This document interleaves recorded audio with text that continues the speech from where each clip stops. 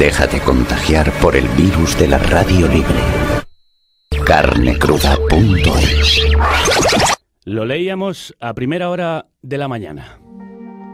Ignacio Escolar, director de nuestro medio, el diario.es, anunciaba en su blog que Juan Luis Cebrián le había despedido de la SER, donde ha estado colaborando durante años, a consecuencia de las informaciones que el diario ha publicado sobre la vinculación del consejero delegado de Prisa con los papeles de Panamá, en los que aparece su expareja y donantes de una petrolera y una fundación de los que formaba parte Cebrián. Nacho Escolar, crudas tardes. Crudas tardes, ¿cómo estás, Javier? ¿Cómo se te ha comunicado el cese? Me llamaron anoche a, última hora, estaba todavía en la redacción terminando el adelanto para socios y me lo comunicaron en, ese momento. Yo ya me lo esperaba, me había llegado por parte de, gente de, la propia emisora que estaban enfadadísimos, que estaba Cebrián, porque esto es una cuestión exclusiva del máximo dirigente de Prisa, que estaba enfadadísimo con nosotros porque no le había gustado que contásemos eh, que su mujer, la que entonces era su mujer, porque ahora están divorciados, pero entonces estaban casados, aparece en una sociedad offshore de Panamá a nombre de los testaferros habituales del bufete Mossack Fonseca y que además, como publicamos ayer y hoy recordamos también, el, en la misma empresa en las Islas Seychelles, donde estaba su mujer como apoderada, hay dos apoderados más que están relacionadas con una petrolera bastante opaca, donde también está Cebrián como accionista y donde Cebrián fue consejero.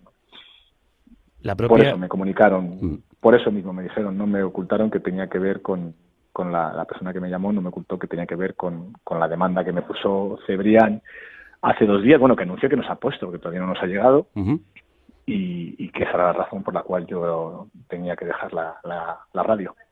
Eh, esa vinculación con los papeles de Panamá la ha establecido la propia expareja de Cebrián, que lo relacionaba con esa empresa opaca y después otras informaciones habéis ido, como estabas contando, eh, se han ido añadiendo a esa relación. ¿Se puede decir que, es justa la publicación de, eh, de, esa vinculación entre Cebrián y Panamá o Mossack Fonseca? Yo creo que nosotros no hemos cometido ninguna irregularidad, ninguna difamación en nuestra información, que está completamente ajustada a criterios periodísticos que son los mismos que ha utilizado el país para, por ejemplo, relacionar a Putin, a pesar de que no sale Putin directamente en los papeles de Panamá, o a Le Pen, o a Chávez, o a un montón de dirigentes políticos más que aparecen no directamente, pero sí sus familiares y sus allegados.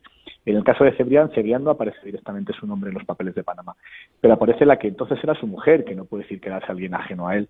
Y al mismo tiempo, en esa empresa en Seychelles, donde aparece su mujer con poderes, hay dos personas más con poderes que están vinculadas directamente a la petrolera de la que Cebrián es accionista. Es decir, que, no, los, vínculos con Cebrián no son nada lejanos y desde luego que, son completamente legítimos que lo hayamos publicado y de interés informativo.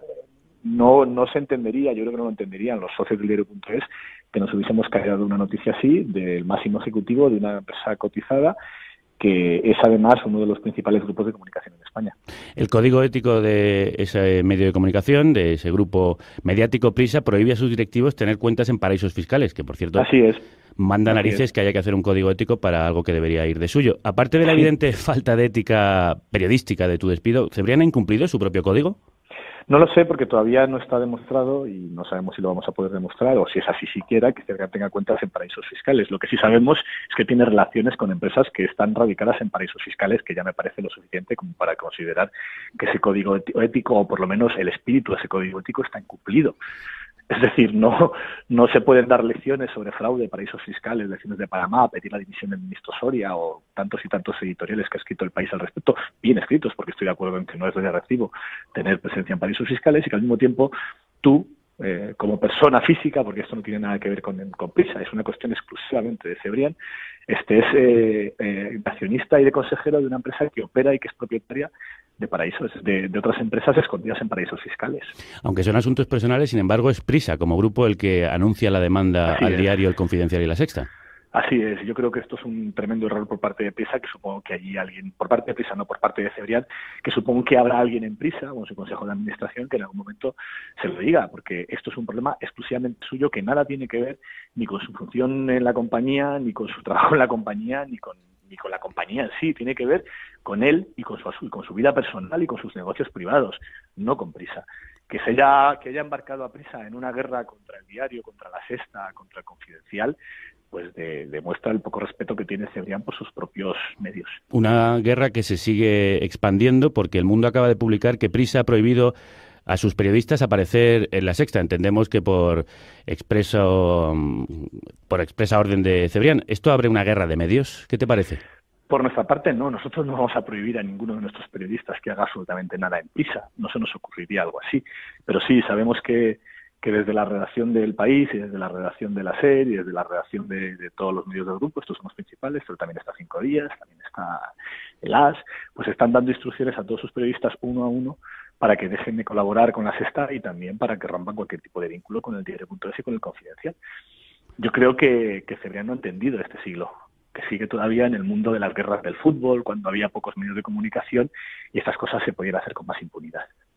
¿Y crees que los compañeros eh, de la prensa deberían manifestarse al respecto, mm, como están pidiendo algunos en las redes y como sucedió mm, cuando el pasado día Pablo Iglesias atacó a algunos de los periodistas?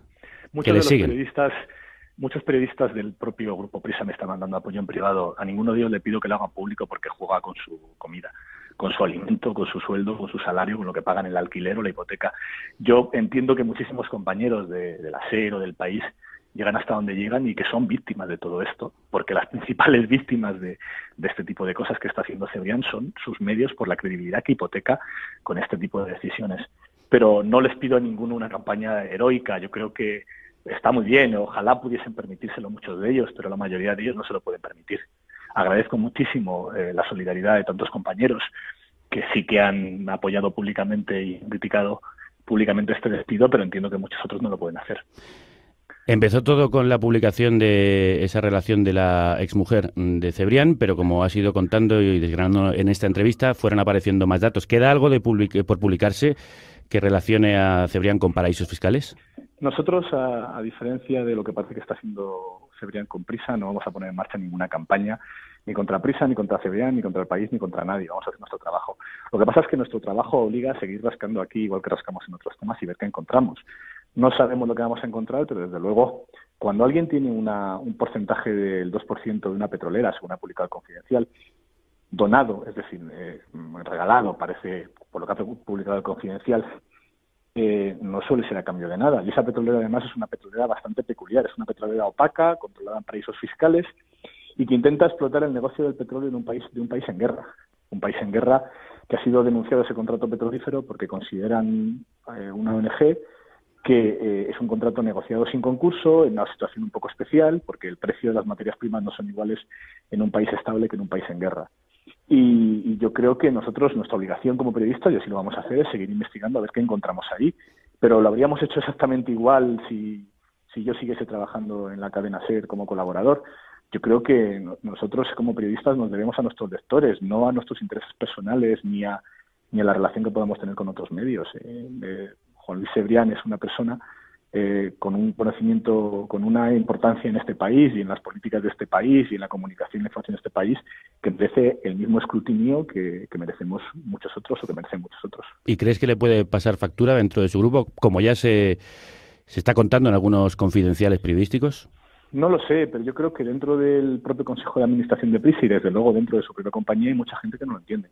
Que no entiende por qué están todo el grupo en una guerra eh, para defender algo indefendible. Hay que recordar que cuando salió los Luca de Tena del ABC, en la lista Falciani la ABC lo publicó. Lo publicó. Y no pasó nada. Eh, yo creo que en este asunto eh, los Luca de Tena le dieron una lección a lo que está haciendo ahora Cebrián.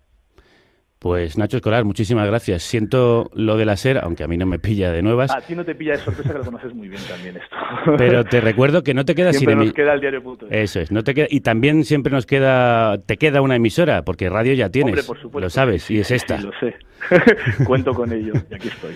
Muy bien, pues volveremos a hablar contigo cuando haya ocasión para hacerlo. Muchísimas gracias, Nacho. Un abrazo. Gracias a ti, Javier. Un abrazo. Y a vosotros os recuerdo que el periodismo independiente del diario.es y de carne cruda solo es posible gracias a los socios que pagáis para que hagamos nuestro trabajo, a pesar de todo. También a pesar de Cebrián y compañía. Hay un problemilla. Retomemos en 17. ¿Listos? 5, 6, ¿sí? Carne cruda. No exactamente mi tempo. Vamos. 5, 6, ¿sí? El único programa de radio financiado por sus oyentes. No exactamente mi tiempo, no pasa nada. Vamos. 5, 6, 7. Carne cruda. Te adelantas. ¡No nos abandones! Espera mi entrada. 5, 6, 7. Carne cruda. Tú eres nuestra emisora. Habla de nosotros.